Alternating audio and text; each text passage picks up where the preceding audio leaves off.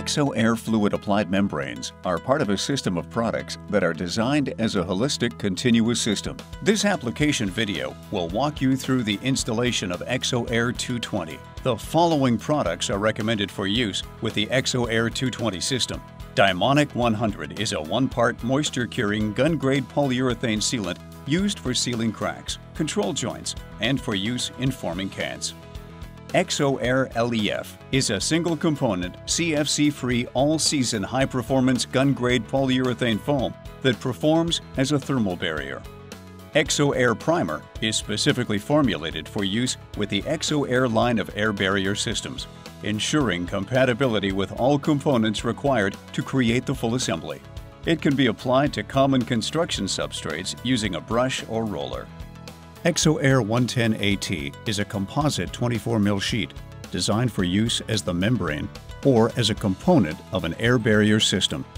Exterior sheathing panels can be detailed using Dymonic 100 high-performance polyurethane sealant.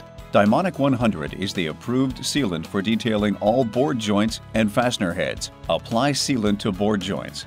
When intersecting horizontal and vertical joints, make sure to apply the sealant so no holes or gaps appear. Spot all fastener heads with sealant 1 16th of an inch thick and 1 inch in diameter, just enough to completely cover the fastener heads. Building designs are more complex than ever. Few have a simple rectangular shape. This means you have to detail inside corners. Start by centering bond breaker tape and applying directly to the inside corner. Press it into place. Apply a bead of Dymonic 100 sealant directly on top of the bond breaker tape.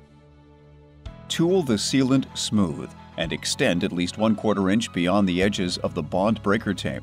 The tape breaks the bond of the sealant to avoid three-sided adhesion to accommodate for building movement.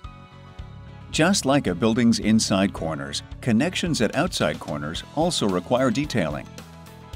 Using a standard nozzle, apply beads of Dymonic 100 sealant to the panel's face on each side of the corner. Using a trowel, spread the sealant toward and over the corner joint. Make sure the exposed core is completely covered without holes or gaps. Use a mil gauge to make sure you've applied the correct amount of sealant. 40 wet mils. Feather the outer edges of the sealant's perimeter on the panel's face to remove any thick areas of sealant. Expansion joints accommodate inevitable building movement. They're designed to absorb the expansion and contraction of construction materials. Expansion joints have to be detailed because, just like detailing standard board joints, it is required for continuity of the air barrier system.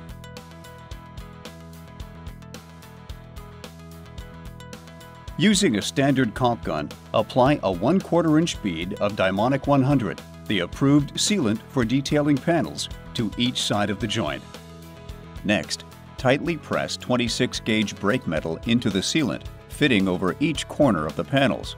The sealant should bleed out slightly. Fasten the brake metal to the panel using the same fasteners that connected the panels to the framing. You don't have to detail the fastener heads with additional sealant friction fit backer rod into the joint 1 4 inch to 1 2 inch from the face of the panel. Apply a bead of Dymonic 100 sealant over the backer rod and fill the joint completely. Tool the sealant so it's flush and slightly concave and connects to both sides of the brake metal. Penetrations through walls must be detailed to create a continuous air barrier around a building envelope. These penetrations include plumbing pipes and vents, and electrical fixtures, wires, and conduits. Start by filling these gaps around the penetrations with Tremco's ExoAir low expanding foam. Be sure to fill in the gap with foam so it expands slightly beyond the face of the panel. Give the low expanding foam about 30 minutes to cure. It should be dry to the touch. With a utility knife, trim the foam flush with the panel's face. Next, Apply a large bead of Dymonic 100 sealant over the foam. Tool the sealant over the foam, down onto the face of the panel, and onto the penetration, extending a minimum 1 4 inch onto both the panel surface and penetration. Ensure there are no holes or gaps in the sealant. Rough openings are detailed in a similar fashion as outside corners. On the face of the exterior sheathing, apply beads of Dymonic 100 sealant in a 2-inch wide zigzag pattern around the perimeter of the panel's rough opening. In the same manner, apply the sealant to the sill, jambs, and head. Using a trowel, spread the sealant toward and over the corner joints for the sill, jambs, and head.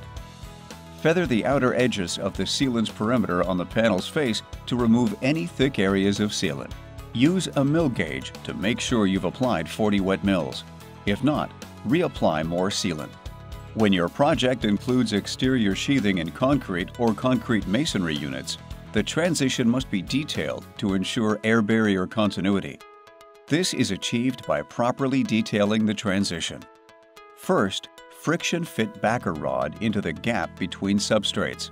It should be recessed no more than a half inch.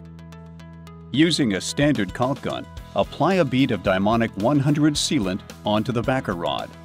Tool the bead smooth and slightly concave so it extends from the panel's edge to the adjacent substrate. Using a roller or sprayer, apply the ExoAir 220 fluid membrane to the adjacent substrate, over the sealant, and onto the face of the panel. Finish applying the ExoAir 220 fluid membrane to the remaining adjacent substrate ExoAir 220 is applied at 60 wet mils to achieve 40 dry mils on exterior sheathing, and concrete substrates require 70 wet mils to achieve 35 dry.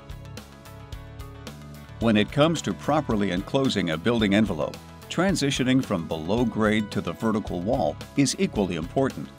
Start by priming the below grade waterproofing membrane with Tremco's epoxy primer Roll the primer a minimum of 3 inches onto the waterproofing membrane.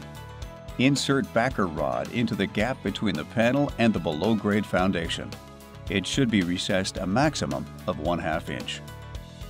Using a standard caulk gun, apply a bead of Dymonic 100 sealant over the backer rod and tool smooth so it extends from the panel to the below-grade membrane. Roll or spray ExoAir 220 fluid membrane onto the face of the panel over the sealant and onto the epoxy primer, a minimum of 3 inches. Detailing expansion joints with brake metal and Dymonic 100 is one option.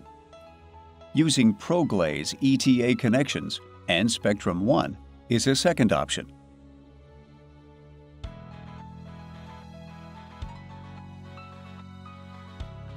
Start by inserting backer rod in the joint so it's flush with the panel's face. Apply sufficient sealant to the edges of the Securock EXO Air panel. The ProGlaze ETA silicone material has a smooth and ribbed side. Center and press the ProGlaze ETA over the joint so the ribbed side makes contact with the Spectrem 1 sealant to achieve a 1-inch surface contact on both sides of the joint. Using a roller, press the ProGlaze ETA into the sealant so that the sealant slightly extends past the edges of the ETA material. Detailing rough openings with Dymonic 100 is the recommended application. Using ExoAir 110AT is a second option. Cut pieces of the ExoAir 110AT into a bow tie shape, 6 inches long 3 inches wide at each end and 1 inch wide at the center.